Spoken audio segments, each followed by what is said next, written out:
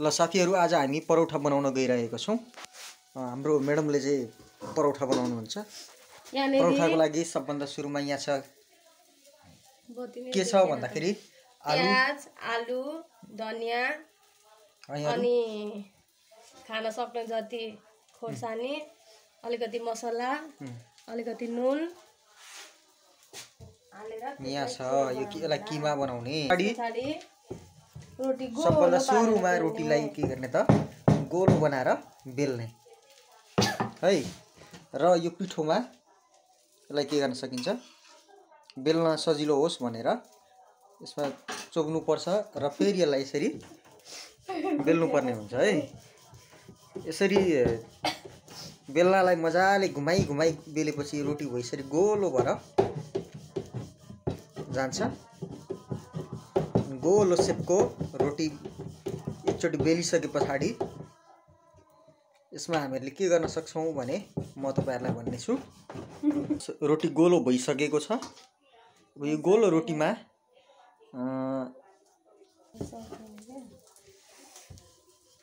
हो यसरी फर्काइ फर्काइ बेल्नुपर्छ। ल हेर्नुहोस् त बिल्कुलै राम्रो गोलो सेपको भइसकेको छ। टक्क। अब यसमा किमा हाल्नुहुन्छ? किमा एड गर्छौँ। यसरी किमा हाल्नुपर्ने हुन्छ। यसरी किमा लगाइसके पछाडि चाहिँ बिच भागमा।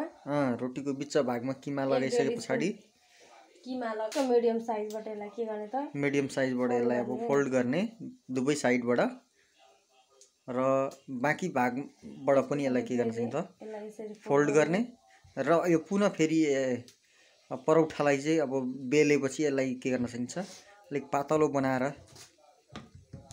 यसलाई सेकाउन सकिन्छ। यसरी बेल्नुपर्ने हुन्छ। किमा लगाइसकेर चारैतिरबाट यसरी हो यसरी बेल्छौँ। र यो एउटा राम्रो सेपको परौठा बनिसकेको छ। अब यसलाई हामीहरूले हो यसरी चारैतिरबाट बेल्नुपर्छ। जति सक्दो यसलाई पातलो बनायो त्यति चाँडो पाक्ने हुन्छ रोटी है परौठा। सजिलै पाक्छ र मिठो स्वादिष्ट। हुन जान्छ अब यो परौठालाई चाहिँ यसरी निकालेर टक्क प्यानमा राख्ने सेकाउने। यसको लागि मिडियम आगो बालेको हुनुपर्ने छ अनि यसलाई यसमा घी अथवा बटर। चाहिँ एक आवश्यकता अनुसार एक एक चम्मच लगाउन सकिन्छ माथिबाट। जसले चाहिँ एकदम टेस्ट फ्लेभर दिने काम गर्दछ। र यसलाई दुई तिन मिनट चाहिँ सेकाउनु पर्ने हुन्छ। र यसरी पल्टाउनु पर्छ पल्टाइसकेर पनि हामीहरूले फेरि के गर्छौँ त बटर यसमा एड गर्छौँ र यसलाई चलाइदिन्छौँ अर्को साइडमा हो यसरी। र दुई तिन मिनट यसलाई फेरि हाई फ्लेममा के गर्छौँ त? सेक्न दिन्छौँ। अब एक फेरि यसलाई अब एकचोटि फेरि के गर्छौँ दुई मिनट भइसक्यो। यसलाई फेरि एकचोटि पल्टाउँछौँ। हो यसरी पल्टाइसकेपछि यो रातो हुन्छ। एकपट्टि रातो भइसकेपछि फेरि हिटलाई चाहिँ हामीले के गर्छौँ त? मिडियम फ्लेममा लग्छौँ। अब तपाईँहरूलाई कन्फ्युज नहोस् भनेर फेरि एउटा स्याम्पल दिनको लागि म गरिरहेको छु। स्याम्पल रोटी फेरि यहाँ बेल्दै हुनुहुन्छ। जो एकदमै गोलो सेपमा बेलिराखेको छ। तपाईँहरूले देख्न सक्नुहुन्छ।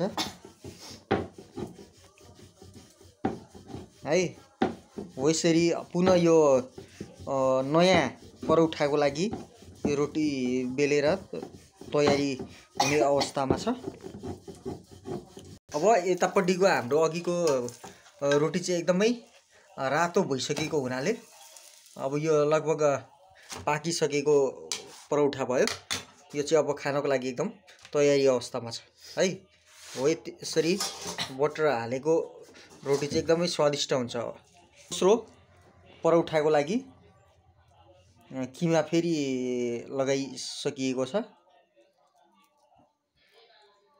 र पुनः यसलाई अघिको जस्तै हामीहरूले के गर्छौँ त दुईपट्टिबाट फोल्ड गर्छौँ। फोल्ड गरिसकेर। बनाउनको लागि एकदम सजिलो छ। साथसाथै खाना पनि एकदमै स्वादिष्ट छ। हजुरहरूलाई भनेर म दोस्रो पटक फेरि पनि देखाउन गइरहेको छु। ल हेर्नु ल। फोल्ड हो यसरी गर्ने। ढ्याक्क। अनि फेरि साइड साइडबाट पनि फेरि के गर्ने त? हो यसरी फोल्ड गर्ने। टक्क फोल्ड गरिसकेपछि अब पुनः यसलाई बेलेर एउटा राम्रो सेप दिन सकिन्छ। ल हेर्नुहोस्। परौठा यो चाहिँ बिल्कुलै अन्य साथीहरूले बनाए भन्दा फरक किसिमको एकदमै स्वादिष्ट तरिका तरिकाले बनेको छ तर यो बनाउनलाई। चाहिँ एकदम सजिलो भएको हुनाले अन्य तरिकाहरूभन्दा उत्तम हजुरहरूको लागि हुनेछ। है? हजुरहरूले नै यसरी नै परौठा बनाएर मिठो मानेर खान सक्नुहुनेछ। टक्क यो बेलिसकेपछि अब पुनः यसलाई फेरि अघिको जस्तै हामीहरूले के गर्छ त प्यानमा राखेर फ्लेम फ्लेमलाई चाहिँ हाई फ्लेममा राखेर दुई मिनटसम्म हामीहरूले के गर्छौँ त सेकाउँछौँ र फेरि अघिको जस्तै बटर बटर हाल्छौँ। र पल्टाएर फेरि बटर हालेर दुई मिनट राखेर पुनः यो परौठा रेडी हुन्छ। रातो भइसके पछाडि यसलाई हामीले के गर्न सक्छौँ त? खान सक्छौँ।